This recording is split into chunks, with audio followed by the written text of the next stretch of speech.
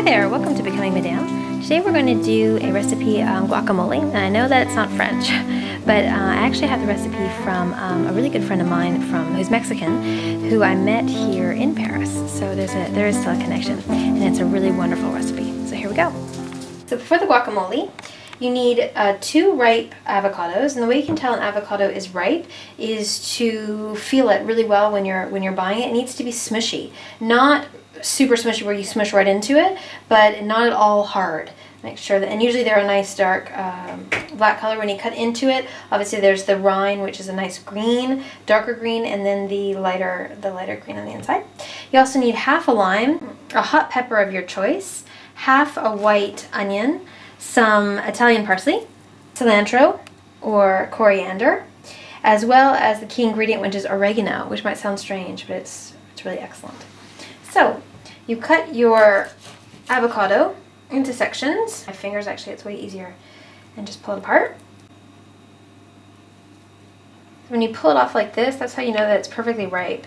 It should just really, once you get the, the um, seed out, this guy here, a really big one, it should just sort of pull off and that's, that's really the perfect ripeness.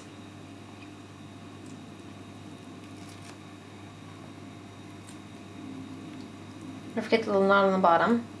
Take him out. Okay, so once you've peeled your avocados, go ahead and cut them into little pieces. Stick them in your bowl. We're going to mash them up with a fork in a little bit. But you just want to sort of get them into mashable little pieces. And also don't forget, don't throw out your little core, your little seed, because uh, if you have leftover or if you've made it in advance of a party or something, uh, it's a great appetizer for an uh, aperitif or something like that. If you have a cocktail party.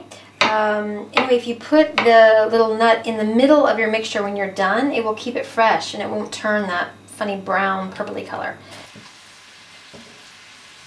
So you want to dice your onions into tiny little cubes, as small as you can make them. Once your onions are diced, go ahead and, and put them into your mixture.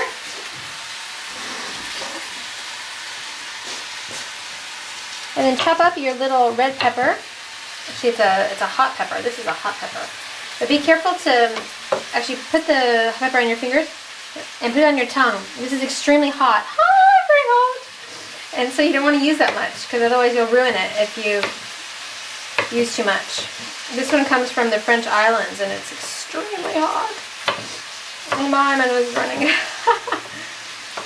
we dice it into really small pieces again and then ch chuck it in. I would start with less and work your way up uh, if you have a tolerance for hot stuff. The French generally do not have a tolerance at all for, for spicy, and so I have to use a lot less than maybe I normally would because my husband won't be able to eat it. You also need a little bit of uh, parsley. This is Italian parsley. And um, I just snip off, uh, I use about a handful of it. And so you snip it off from the, the main part and then I chop it up. You also use some um, cilantro. With the cilantro, you'll need to be careful because they have really long uh, stems, and so you need to make sure you take them off. I use a handful of parsley and about two handfuls of cilantro probably use about 20 or so stems of cilantro, which is coriander. That's a really wonderful flavor. Okay, so once you have your piles, sort of have a double pile of cilantro for what you have for your parsley, and then just chop it up into tiny little, tiny little pieces. I love chopping herbs. I don't know why. It's funny. I do really like it. Begin to I put into a big bunch, chop, chop them up, going to fold them into each other and chop it up in the other way. There we have it. When you're done, toss it into the mixture. And then we're going to start mashing all the, the everything in the mixture together with a fork.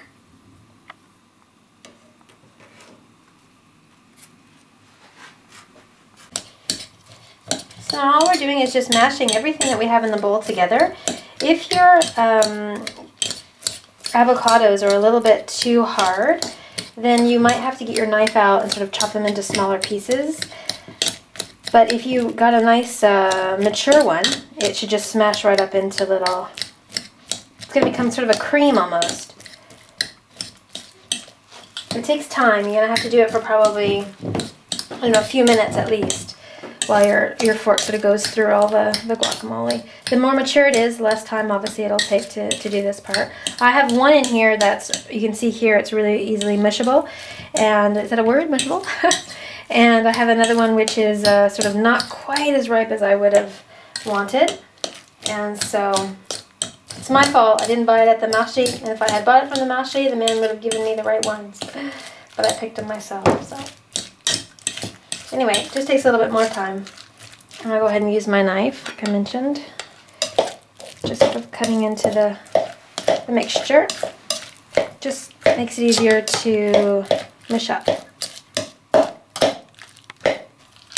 Okay, so here it is. All mashed up together. You don't want to mash it up so that it's, it comes actual mousse. You want it to, or a real cream, you want it to be creamy, like it is. But some of these nice bigger pieces are, are um, really yummy. Now my mom loves um, guacamole, so this is for you, Mom. But she unfortunately uses a, uh, a mixture and it's not at all as good. And so this is a, a real, totally homemade, really excellent one. Now, this is a Rosella, which is just really big sea salt. This one is from Brittany in France. And this is a, a really wonderful ingredient. So you drizzle that in there and make sure it's the really big, the biggest sea salt that you can find. I do two, uh, it ends up being about one tablespoon salt. And lastly, you take your half lime and you squish it all in. Try to get as much as you can.